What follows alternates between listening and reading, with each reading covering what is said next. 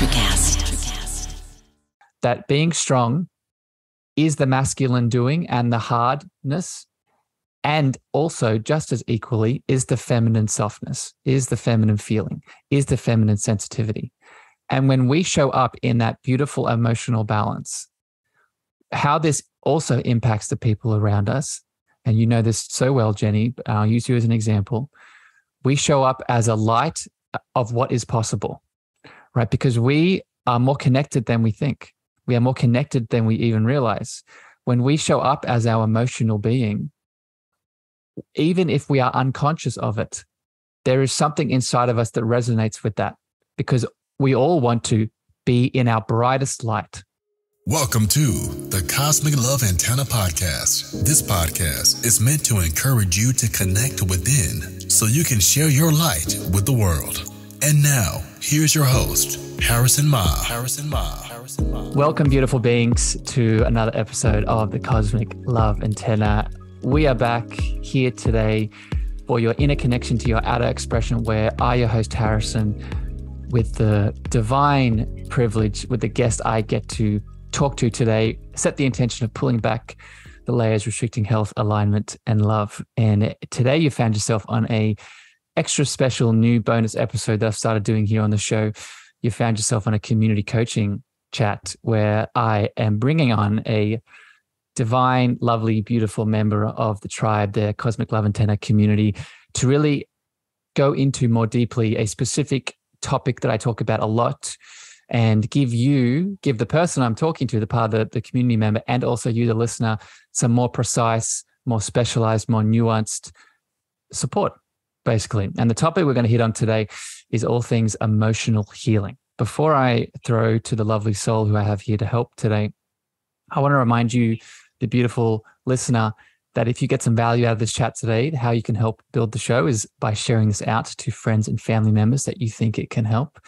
And also, I have started what I'm going to start to do is pick people from the reviews in the community to do these shows with in the future. So if you want to be on the show, you want to do this kind of chat, leave it in the reviews and I'll pick your beautiful soul if it is if it is meant to be. So with that today, I have the beautiful Jennifer Sims here today to talk about all things emotional healing. Jennifer, how are you how are you feeling, my friend? I feel good. I'm, I'm finally grounded. I've been really nervous, but I feel balanced now. I'm ready to be here. I'm excited. It's an honor. Well, my friend, I love you very much. And I, you know, with this topic today, much like our mutual friend Jennifer, I cannot think of a perfect being to go deeper into this because you, much like Jennifer, you're such a student, you're such a seeker, you're such a a knower, a, a, a learner, and and your your soul is open to this kind of information, much like a lot of the people listening. So, I received the love, but I'm honored just as much. Okay, so let's start this before we get to your questions. I want to ask about what's happened over the last couple of days because I think this really gives a gives a highlight of why this emotional healing topic today is important. So, give us a summary, Jenny, of really what's happened over the last couple of days since I invited you onto this chat. Wow. Um, when you first invited me, I was thrilled. I've been a follower since the beginning um, of the podcast. And, when it came down to me actually thinking about what I was going to say and ask, I went completely blank, um, went back into my old ways of overthinking, uh, couldn't get out of my head. I practiced everything I've learned. I've tried to put them into practice. I was trying to be mindful um, to the point that by, I guess, a couple of days later, I ended up sick and and I knew, you know, I didn't want to cancel. I was like, I'm going to heal myself. I'm going to do this. This is this is why I'm going through this illness, is so I can do this interview. And I couldn't, and so it was like I had to send you the message. I got to reschedule. Um, had more time. And Jenny, just to interrupt here, you, Yes. it's not that you couldn't; you just needed more time, right? You just needed to sit in it Yeah. for a little bit longer, right? Keep going. Most definitely. I believe that. Now I'm going to get emotional. um, yeah, going through this, I'm, I found I'm a very emotional being. But so then when I, once I made the decision to reschedule, it, it took a big relief off of me, you know, some weight.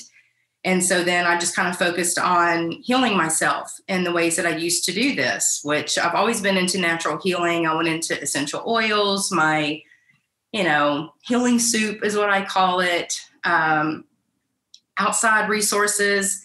However, nothing worked. Um, and then just started digging deeper. And I just felt, honestly, I felt more so the thoughts that started coming up was based around my healing myself. Mm. But then I thought, how am I going to pull off an interview mm. and sharing with others my light if I can't even heal mm. this cold? Hmm. And so then my intentions began, you know, I needed to heal myself naturally with just my energy, not with my old ways, which were still natural, but I just I wanted to do it with my body and my spirit. And once those intentions were set in, it was actually pretty quick after it happened. I, I stepped into it. I I visualized it, I felt it, um, all of the above. I mean, I literally shifted immediately. So, this is why I wanted you to share this, right? Because this is, there are many aspects of this that you've stepped into over the last couple of days, right? And there are definitely a lot of spiritual pieces to it. But from an emotional lens, right? From an emotional healing lens, and this is what we're probably going to get into today with your questions a big theme here and a, and a pillar that I want to state as we go deeper is we must feel it to heal it, right? We must surrender. We must listen. We must acknowledge, as you said, you said a second ago, you're an emotional being. Plot twist here every single person listening is an emotional being.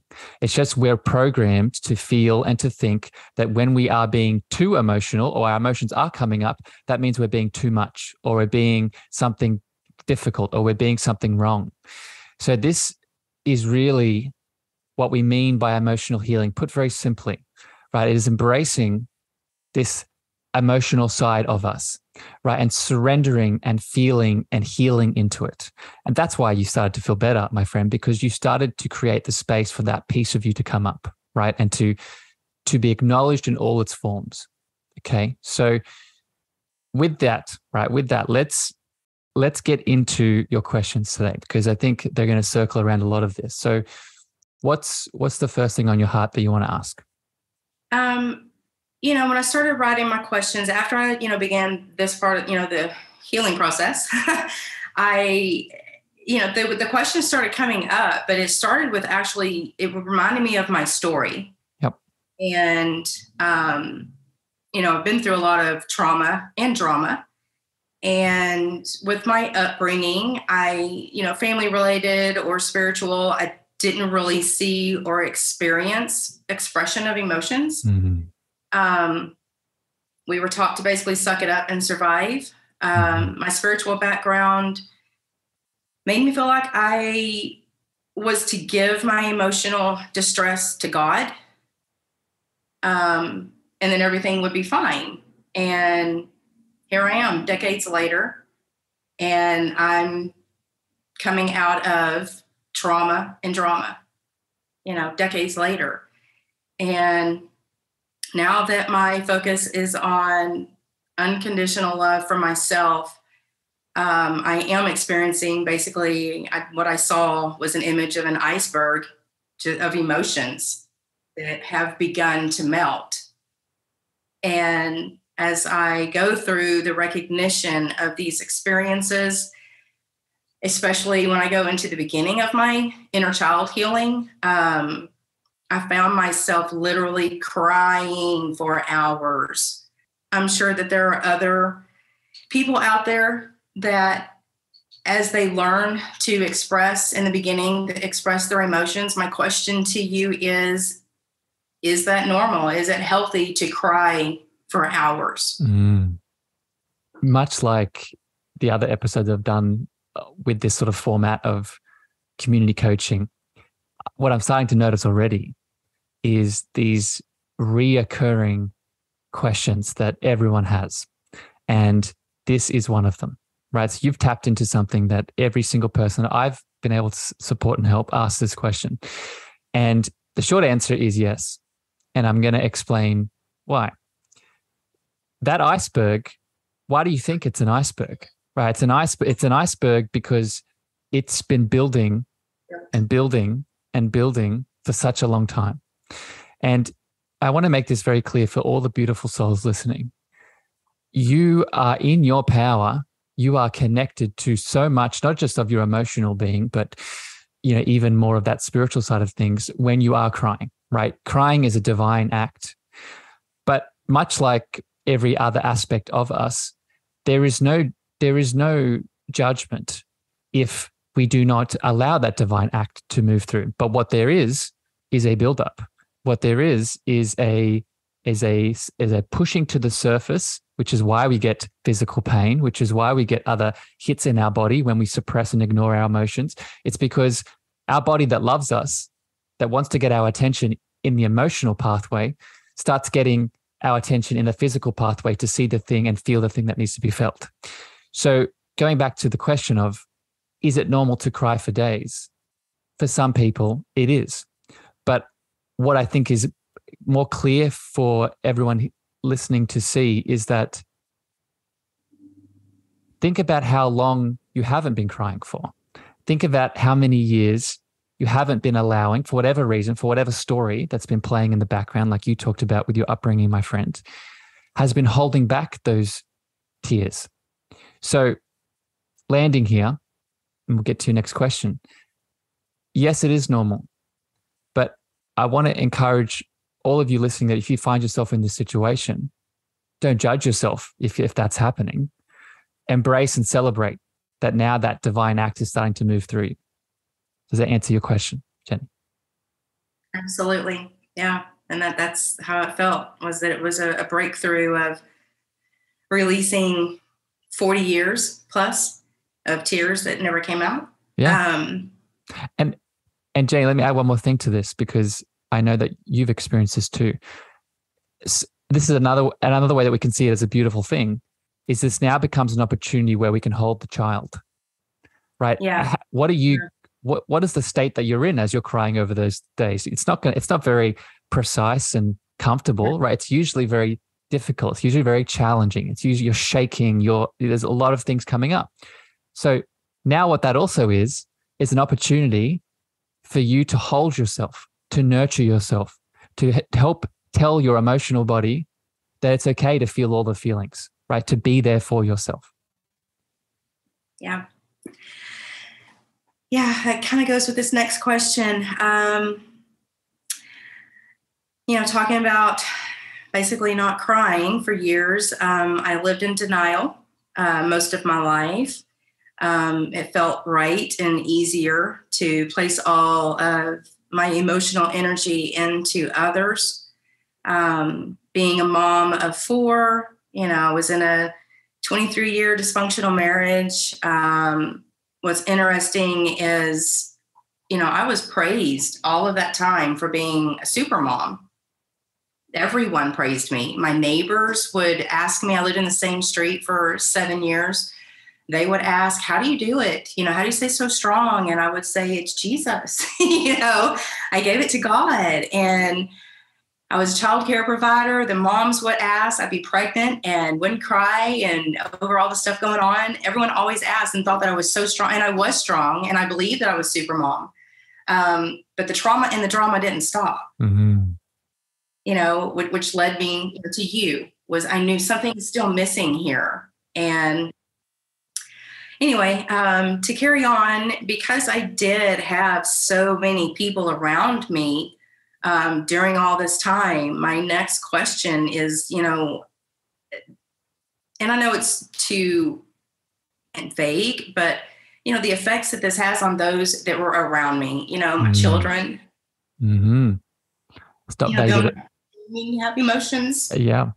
Jenny, I'm going to say a couple of things here. One, it's not vague at all right? And when we talk about this emotional conversation. I feel you beyond your words. Okay. So uh, believe me, I'm picking up things regardless if you say them or not. Okay. Second, just as you're getting emotional with me here today, I want you, all you need to do, and you know this, Jenny, but I, I say this for as an example for people listening, just be here, right? Just be with these emotions, right? This is emotional healing in itself, right? Allowing everything to move through you in the way that it needs to move through. Okay. Let's let's answer your question in terms of its impact on the people around us, our children, our family. I want to go back to what you said around being strong, right? Around you felt that you were being strong by mm-hmm. by not being emotional, by being the super mom, by holding it in. And I want to encourage you, Jenny, and anyone listening, let's redefine what strong is. Right? Yes, strong is the masculine of the doing, showing up, supporting, being there for the children, the family, the people that you're looking after, all the things that you did, Jenny. But strong is also the feminine, right? What is the feminine? The feminine is the allowing, is the flowing, is the feeling, is the sensitivity, is the is the emotions in many ways. The sacral chakra, the first feminine chakra, is that sensitivity and those emotions.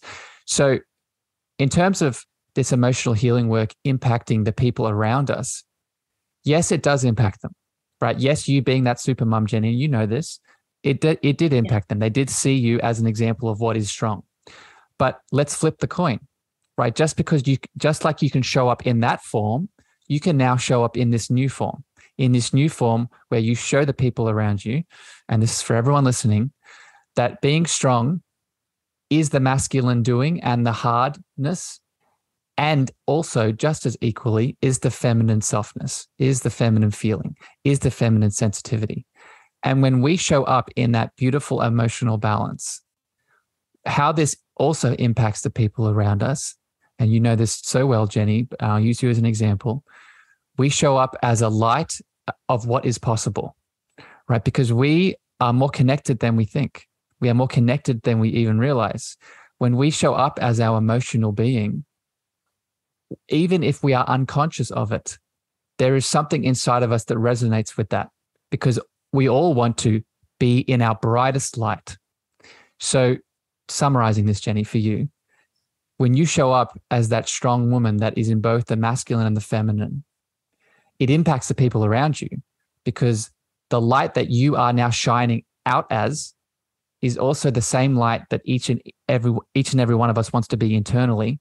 So we're pulled towards it. Does that yeah, make sense? And that's exactly what I've experienced. Yeah. And I've experienced, you know, watching others being more attracted to me now. Um, but especially I, I feel empowered. I feel strong. I feel independent. Um, now I feel super. Um, I really didn't feel so super back then, and, and now I do. Um, I definitely resonate with that. And Jenny, I have one more thing before your next question. I would also just just to put this in here for people so they're aware of it. The, this emotional healing is also connected to ancestral healing too, right? As is the inner child, as is all the other topics we talk about in this inner world. So, just to give a very specific example, Jenny, if you are working on your management of anger, right, you're you're allowing it, you're working out how to move it through you in a balanced way and expressing it, not taking out as rage, not suppressing it. From an ancestral lens, when you heal that anger, Jenny, that also heals the anger in your family, right? Both that might exist in your children and that might also exist in your parents. So that's also a way for you to, to impact the people around you through your own emotional healing. It's beautiful. Yeah, I believe it. Um, my next question. So, this one's kind of funny. As I went through this last week of coming up with questions and trying to figure out what emotions are, um, that kind of is where the next question is going to lead to. We're taught that we have three emotions happy, sad, or angry. Yeah. What's your opinion of that? Because that's what we literally they say. How do you feel today? And you have your smiley face, your sad face, or your angry face. Yes. Yeah. That is not what I went through this last week. Yes. So this is a really good question, Jenny. And the first thing I'm going to say is that someone who's in this world as a practitioner, there is just as many opinions on emotions as there are people in this industry. So I just I say that and to put that out there for people listening and learning uh, the best way to understand your emotions is actually to go inside of yourself. Right? I would actually it's very we we we get lost in the labels and the definitions and the the the uh, breakdowns of most things in life. But within this emotional healing context today it is i would say it's even more important to be aware of it because yes there are a sort of generic foundations that we can all begin with. Like for example in my teachings i teach about sadness i teach about sadness and grief. I teach about anger i teach about guilt and shame. And those are really sort of foundational where we can start. But we are so individualized and we're so complicated and we're so they're so so complex in many ways. And this also connects to our emotions. So to answer your question my friend and to share my thoughts on this there is there is so much moving through us in terms of our emotions and what i actually think is more important for each individual as you start to do this kind of healing work is ask yourself, what is the feeling behind it? Right. So, so rather than, so let's use anger as an example. Let's say that I'm starting to define what anger is for me. Instead of getting lost in the defin- in, in the definition of what a teacher has told me about anger, what would be more important is to define how does anger show itself in my body?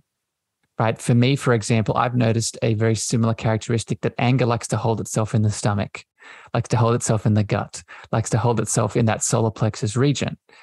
But for you, is that a common occurrence? Right. And right. And you can start to take track of that. You can start to notice. Right. Another example is grief and sadness.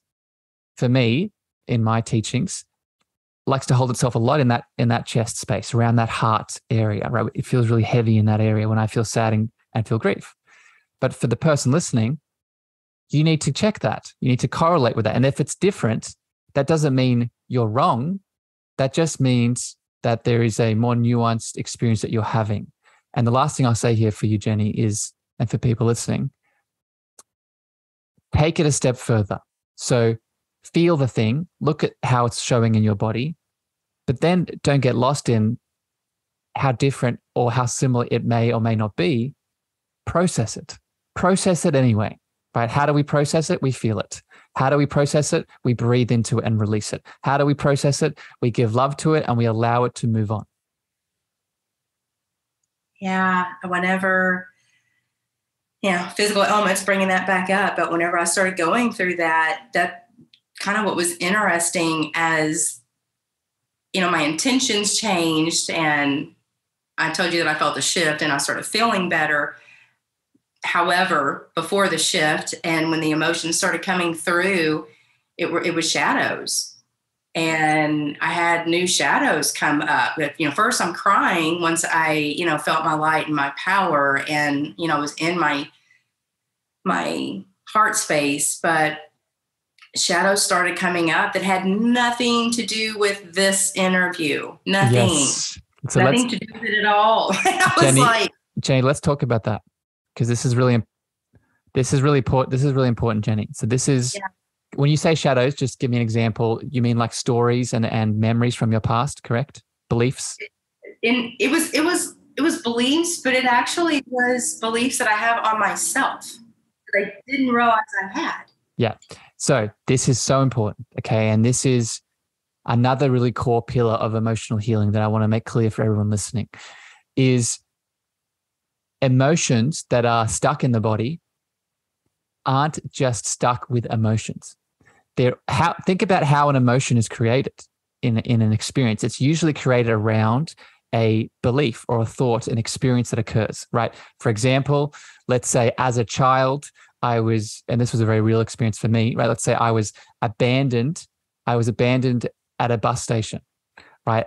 In that experience, there would have both been the creation of the emotion of grief, sadness, anger for me, and also simultaneously the thoughts and the beliefs of I'm not worthy, I, I deserve to be left here, right? I'm alone, all these stories and beliefs, right? So this is not a Harrison thing. This is how we function, right? When we start to start, and this is what you experience on the weekend, Jenny. Once you start to release and feel the emotions that are moving through you, through your tissues, through your body, they're also going to come with these beautiful subconscious, unconscious beliefs and thought forms that have been playing in the background for who knows how long, but are now coming up to be seen. And just as we approach the emotions with love and acceptance and allowance, forgiveness, we now do the same thing for the thoughts and the beliefs that are attached to them. Yeah, absolutely. Yeah, right, that's, was, that's shadow work, right? That's what we just defined there as shadow work. You know, most of my work that I've done, you know, started in February, but most of the work that I've done, I mean, there's been a lot of intentions in there. And, you know, I was looking for it. Um, this time it was just out of nowhere. These thoughts started coming up, and I was like, what? That's not how I need to fix myself right now. And but I but I felt a, a significant and it was a physical, spiritual pull. I had to shine light on this and recognize this about myself. And the more I did it, you know, of course, I started getting emotional with tears. Um, but it was interesting how, you know, my thoughts changed. You know, my mindset changed because as I started healing and recognizing this of myself, um, releasing the tears and and flowing with the emotion, positive words started coming into my mind, and it almost became like a chant um, I'm like tingling all over right now, but I just started thinking positive words and I couldn't stop saying them. And I just kept saying them over myself over and over. And, and it was, it felt wonderful. You unlocked, you unlocked the real reality, right? You, yeah, and there's a lot of pieces to what Jenny's explaining here, but the one I want to pull out for people to, to really feel into is that Jenny broke free of a limiting reality that she was unconsciously living, right? And what she unlocked, what she felt through that positivity, in many ways, it's also love, right? Is her real truth, her real potential, right? Every single person listening, it is not a natural state to be in one of dis-ease, dysfunction, to be in chronic pain, to be in, in, in being triggered all the time. That's not your natural state. Your natural state is what Jenny just explained the positivity, the love, the balance, the homeostasis, the, the alignment to self. So, of course, Jenny, when you open, even if it was un- unintentional, right? When you open the door for that love to come in, it's going to break through, right? It, it totally broke through and just spoke over me. You know, I'll have to, you know, kind of add in you know, I have a very, I have a pretty long spiritual background. And, you know, I spent a lot of many, many years um, leader in Baptist church. And, you know, reminds me, you know, it, it was the same feeling, um, similar, because back then, you know, I would hear God, you know, is what I was told, the Holy Spirit speaking to me. Um, so it was similar to that feeling. However, this time it definitely, you saying that it unlocked a door, I strongly feel that way. It, it was. Yeah, Jenny. Yeah. It was a. it was a it was a coming from within you rather than a coming outside sure. of you. Yes. Right. The the God, the Spirit, the you know, in that context that you just described from the Baptist Church, you know, and I'm putting words in your mouth, but I, you know, I've spent enough time with you to know how this works, right? Is that teaching was probably showing you that there's something outside of you that's giving that power and that divinity. But in that moment, in that opening of the door, you realize that power was always inside of you, right? And that and that was moving through you, right? Yeah. So it always has, but now I can feel, feel it, it, and see. It. Yeah. so yeah. Jenny, you probably have time for a couple more here. So what what's what's next on your list? Well, we've covered a couple actually just from talking. Um, I'm going to go to, um, you know, when we first connected on Facebook, you learn pretty quickly that I'm a journaler. Um, that's been a huge part of my healing experience. And, you know, I sent you images from the very beginning. It's easier for me to communicate this way. Um, so, you know, for me and probably plenty others, journaling feels safe for our thoughts and feelings. And so I want to ask you is, you know, has this been, I know it's healthy for me to be journaling all of this, obviously. Um, but you've watched, you've watched me for months now. I, I, I do. I speak with my pages of my journal. and is that still healthy? The short answer the short answer for you jenny is of course it's still healthy. But i'm gonna okay. i'm gonna expand this out for you and everyone listening. So with emotional healing one of the first things we have to sort of ask ourselves is what is the way that we can channel these feelings and emotions that is best suited for us? And we must acknowledge that each and every one of us is going to have a unique answer to that question right and uh, and I wouldn't have it any other way, right? Just like the soul that we are is unique and has unique gifts, the emotional side of that soul, which we're talking about today, also has biochemical individuality, right? So the short answer is that if if the journaling for you, Jenny, and for anyone listening, is the way that we're processing our feelings and emotions, and we're just going all in on it, and it's and it's working for us, then don't fix what's not what what isn't broke, right? But I want to just encourage people listening that have used journal work to really look at what is happening. Right? What are you doing when you do journal work? Right? You are channeling the deeper side of yourself into the words. And while a lot of journaling is going to be processing shadows, as Jenny has talked about today, what I often don't see and what I would encourage people to do more of is to actually look at the light that they're sharing on the page. And what I mean by that is it's very easy for me to journal about my pain. It's very easy for me to journal about my trauma, my challenge, my the the, the event that occurred, right? Because that's it's really where a lot of the emotions will come up. But what people often don't do, and what I would encourage you to do more of, Jenny, and people listening, is journal more about your beautiful light aspects that are coming up within the shadows right? How do we how do we do shadow work? How do we what is it that's helping us process the emotions right? L- let me go back to what i said before jenny around when we have the emotions moving through us we must hold the child. We must hold ourselves and nurture ourselves through it.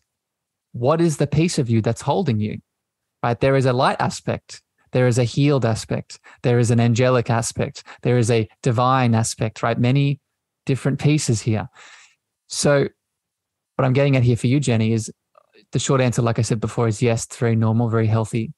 But what I would encourage you to do more of is within your writings about all the shadows that you're noticing and healing and integrating, also create space to talk about and acknowledge your light. Because if we can acknowledge the light, more as equally as the shadow, now our frequency is expanding even higher, right? And once our frequency expands higher, we now have the capacity to do more of the shadow work, to do more of the healing, because we're not just focusing on the lows, we're now encompassing the full spectrum of what we are. How does that feel? totally resonate. Yeah. That's exactly how it feels. I was just picturing how my journal started because I, when I was looking for the questions, you know, to come up for me, I went back to my story, which is in my journal, and and how much it's changed significantly from the beginning.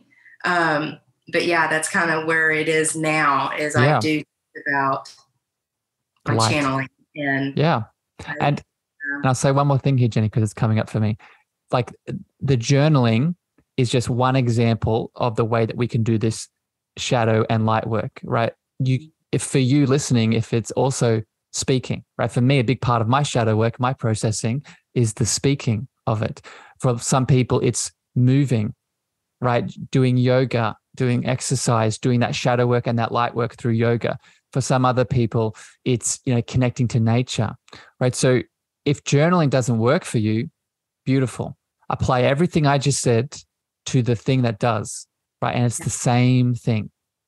I, I was about to say, as soon as you said movement, that's, you know, I mean, I've talked about music is huge for yes, me. That's another one. Um, music and dancing, just there's something about it. But um, my last question, um, it's a pretty simple one. Um, people are recognizing more today, obviously, but I'm going to ask it anyway. Do females need to express their emo- emotions more than males?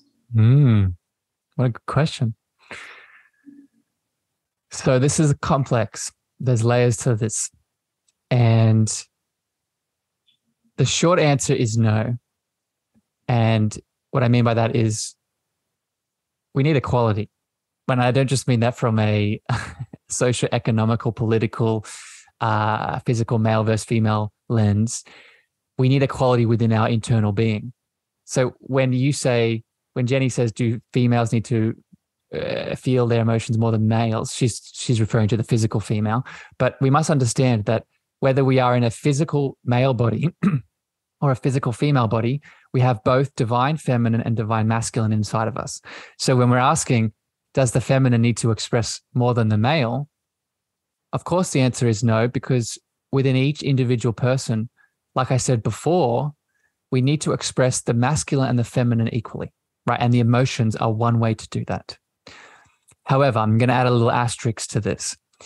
In the in this in the socio socio-economical cultural world that we live in, the the feminine is very suppressed. The feminine is suppressed both at a physical layer, as in physical females are suppressed, right? The, the patriarchy is an example of that, right?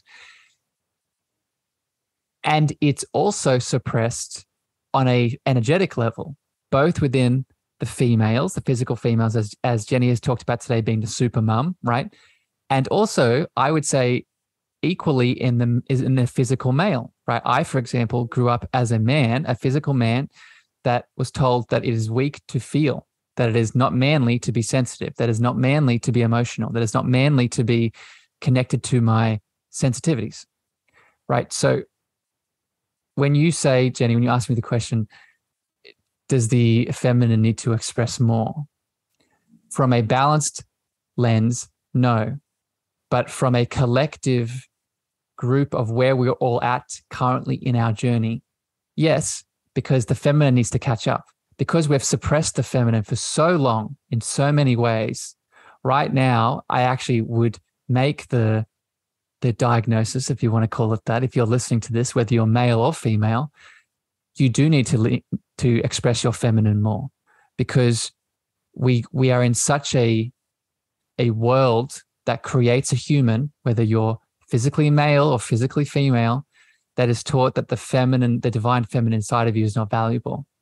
So we do need to create the space in our lives just until we get back up to that balanced state to allow more of that feminine energy to flow. Beautiful. I've got lots of men in my life. I hope they listen. Yeah. Yeah. and it's I I it's the future that I see.